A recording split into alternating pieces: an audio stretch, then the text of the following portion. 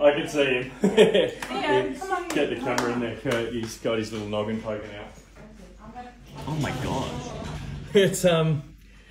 So obviously this is your artwork, and Go outside. all right, no, that's fine. You can go go outside. I can grab the snake. Not in your way. That's alright. I just don't want to ruin your painting, but. All right, so behind. Oh, there it is. it's decided to come out that way. Maybe if I just give it a bit of a tickle, it might um. I just don't to drop the painting to drop. You know what?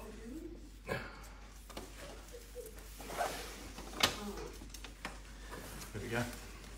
That makes my life a bit easier.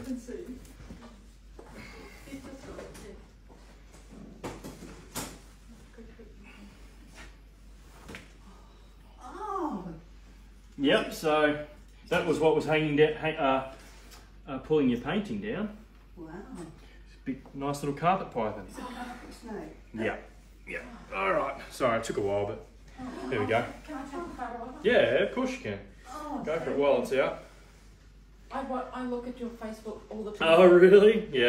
I would- uh-huh. As much as I hate snakes, I still It's not a bad looking snake either. oh. duck behind the painting. Yep. Yep. Yep. What size do you reckon it is? Oh, I don't know. It's probably five foot. It's not a mm-hmm. very. They get.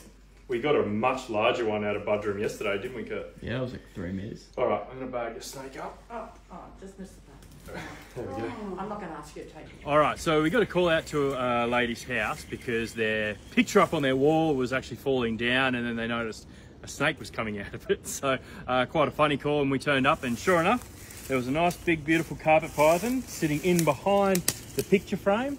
Uh, so we took the frame down, and this is what we saw. You can go now. Look at that.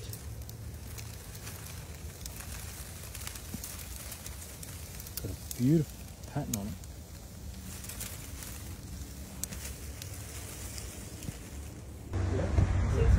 Oh yeah, yellow face whip snake. Can you Where is see it? the whippy? Just Oh right down, Yeah, head yeah. sticking out.